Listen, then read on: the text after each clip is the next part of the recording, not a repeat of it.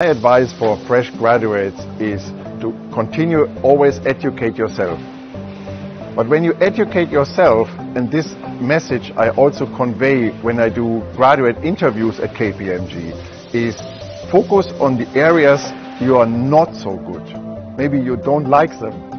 Because very often people continue to learn what they like and getting maybe very good at it and ignore others. While I always say it's very important for a growing adult to be very balanced, to have knowledge of everything and later on zoom in and focus on a particular topic. So my recommendation, learn and study in areas where you're not so good, which you may not so like.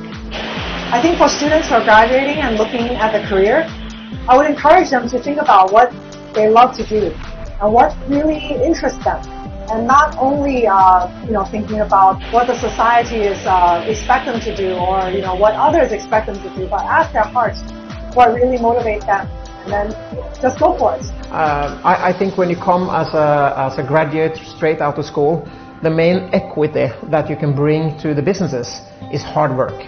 You don't have that much experience yet, but you have a lot of time. As you grow older and you get kids and family, you're going to have less time. So use that time now when you're young to work hard and through that gain experience so you can have a more balance as you get older.